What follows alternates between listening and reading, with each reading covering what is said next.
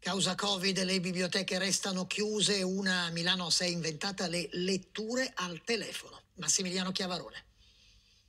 Pronto, sono Fabio di Pagina al telefono per la lettura a sorpresa.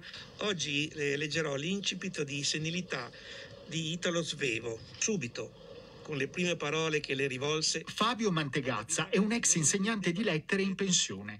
Un pomeriggio alla settimana lo dedica alla lettura al telefono.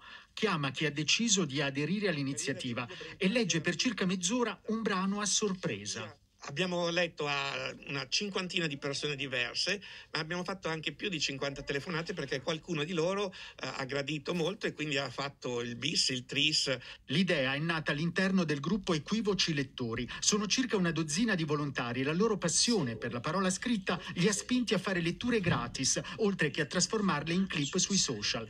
Un modo per accorciare le distanze in epoca di pandemia in nome dell'amore per la letteratura. A organizzare le prenotazioni la biblioteca comunale Valvassori Peroni, all'Ambrate, periferia est della città, ma le richieste arrivano anche da altri quartieri di Milano. Noi l'abbiamo un po' come dire pensata per una platea di ultra settantenni, di persone di un, che, che, che hanno più difficoltà a muoversi in questo periodo, ma poi abbiamo avuto adesioni entusiastiche per esempio anche da, anche da una scuola. Intanto i volontari pensano che il format telefonico nato per necessità possa diventare un modo per restare in contatto attraverso la lettura anche quando sarà finita l'emergenza.